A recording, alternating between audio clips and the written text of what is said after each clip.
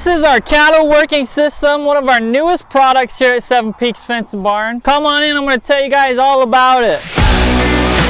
We got our 20 by 20 pen. That's gonna be your catch pen. This is where you're gonna bring your cattle in. You can do about 10 cows in here. You can really customize this if you want it bigger, but this is the standard kit that we sell, 20 by 20 with this 10 foot bow gate to bring your cows in. So we're gonna have our cameraman be our, our cow. So we're gonna herd the cows right in. This is our 10 by 20 separator pen. And then we got our 90 degree sweep system over here. Same 10 foot bow gate that you're gonna take your cows in, separate them, and drive them in however you'd like, one by one, or right into the alley frame to go into the trailer or to the chute, whatever you prefer. This is what we're here to help you guys do. Build your fencing easily and affordable.